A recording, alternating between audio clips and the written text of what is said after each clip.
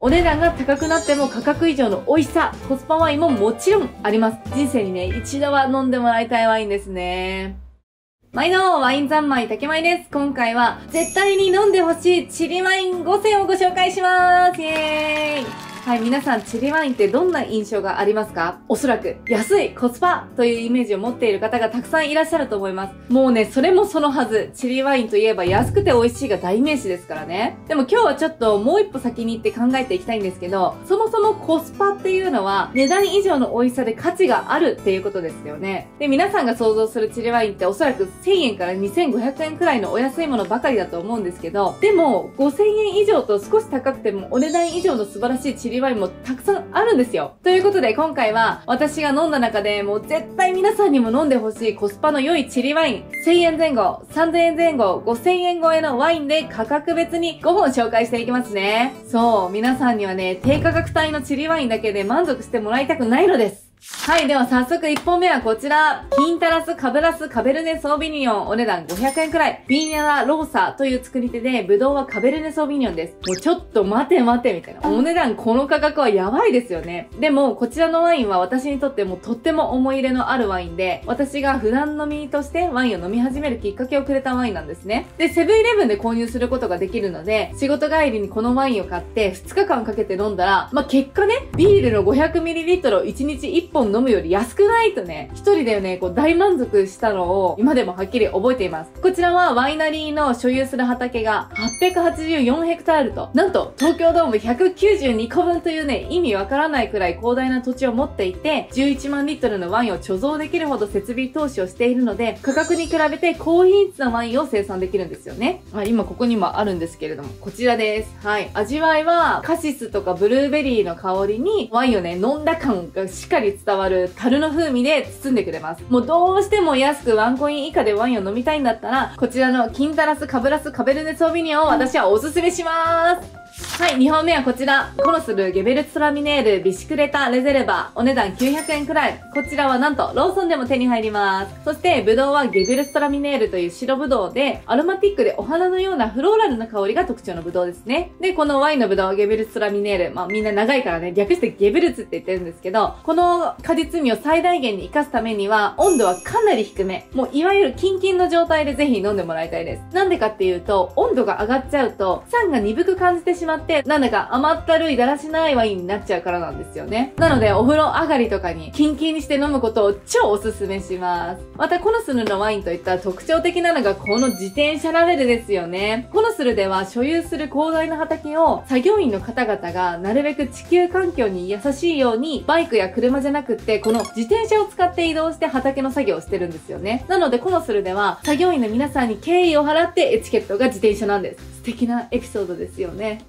はい、3本目。アルパカカルメネール。お値段は600円くらい。ぶどうはカルメネールというフランスやアメリカではね、あまり聞かない品種ですけど、チリにて素晴らしい個性を発揮する品種です。以前の動画でアルパカについて熱く語ってますが、アルパカって他にもね、カベルネソーミニオンやシャルドネなど、たくさん種類があるんですよね。その中でもダントツおすすめなのがこのカルメネールです。よく間違えちゃうのがカベルネソーミニオンと似てるんですけど、カルメネールはキャップシールが紫の方ですからね。赤じゃない、紫ね。カルメネールはもともとはフランス生まれのブドウなのですが、完熟しないと青ピーマンのようなこう野菜の味を強く感じてしまって、あんまりね、美味しいとは言えないワインになっちゃうんですけど、チリでは温かい気候の関係でブドウがちゃんと完熟できて、野菜の味はちょっぴりするものの、こう全体的に少し甘やかになって、こう優しい味わいが特徴になります。私、冷やしトマトと合わせたんですけど、なんだろうね、すごい最高のペアリングでした。トマトとね、カルメネール、ぜひ試してもらいたいですね。で、今紹介した3本は、すべてスクリューキャップなので、こう抜線がね、こうひねるだけで簡単なのもいいですよね。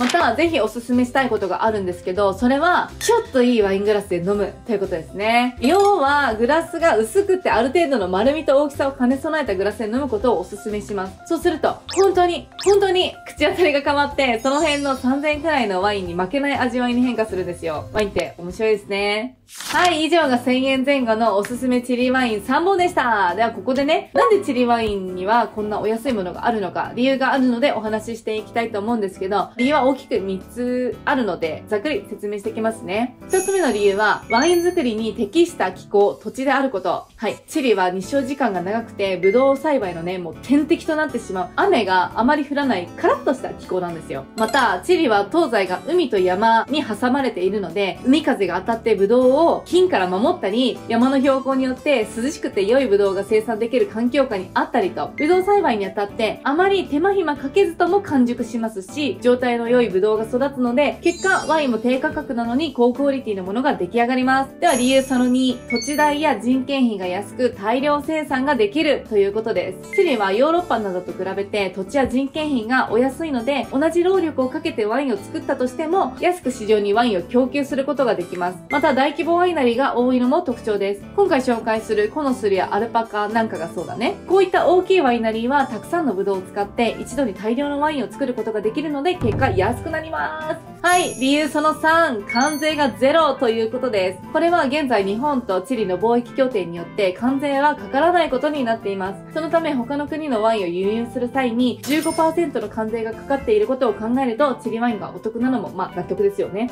ということでチリワインがなんでお安いものが多いのか理由が分かったところで次は3000円前後の皆さんに飲んでほしいワインへ行ってみたいと思います。はい、4本目はこちら、モンテスアルファカベルネソービニオン。お値段2400円くらい。こちらはね、ただただ力強いだけのカベルネソービニオンではなくって、上質なワインの絶対条件である酸、酸味とか清涼感もしっかり感じられるカベルネソービニオンなんですね。で、チリの中でも海風を受けるコルチャグアバレーという少し冷涼な産地だからこそ、まあ、チリという暑い国でもワンランク上のカベルネソービニオンを味わうことができます。これね、ただただ暑い産地だとね、だらーんとね、骨格がないボテッとした田舎臭いカベルネソービニオンが出来上がっちゃうんですよ。はい。ちなみにモンテスのワインには、すべてね、天使の絵がラベルに書いてあるんですけど、これはね、モンテスの当主が以前事故に遭ってしまって、死にかけて無事生還したっていう過去があるんですね。で、その時に女神が見えたそうで、それ以降天使のラベルをつけるようになったんですって。なんかこう、命の恩人的なそんな感じですかね。はい、今日から使える豆知識でした。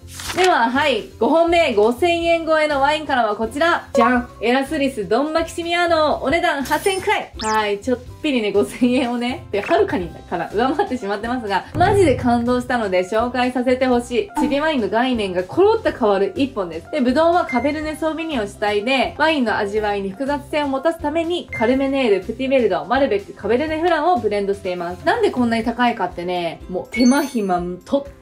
もかけてるんですよ。ぶどうは機械ではなく手作業で収穫してまして、その後2回にわたってぶどうの果実を選化します。要は、よりすぐりのぶどうだけを使用してワインを作っていくんだよね。また、チリの中でもアコンカグアバレーというとっても上質なぶどうが生産される産地のぶどうを使用しています。このエラスリスドンマキシミアーノは一番最初私はセミナーでの試飲会でいただいたんですけど、本当に感動したんですよ。すごいね、口当たりがシルキー。で、他にはチェリーとかラズベリーのこう赤系果実に加加えて、そこでココアとかグローブのような甘さが広がる。もうね、バランスも最高のワインなんですね。また豆知識なんですけど、日本ではチリイコール安くて美味しいワインじゃないですか。でもそれはただただチリが日本へ安いワインを輸出してるだけで、韓国をはじめ他の国々では、この価格帯の5000円ぐらいのね、価格帯のチリワインもたくさん輸出してるんですよね。だから日本だとチリワインはお値段が3桁、数百円のお安いものの方に注目されて、大手スーパーなどがこう一度にガーって大量購入するから、さらにそこで安く販売されて、日本国民の多くの方にデイリーワインとして認知されているだけなんですよ。ということで、日本人がチリワインに持つイメージっていうのは世界とはまた違うんですね。もう何が言いたいかって、チリワインは安いだけじゃない !5000 円以上のミドル価格でも感動するような美味しいワインはたくさんあるんだぞと教えてくれたのがこのエラスリスでした。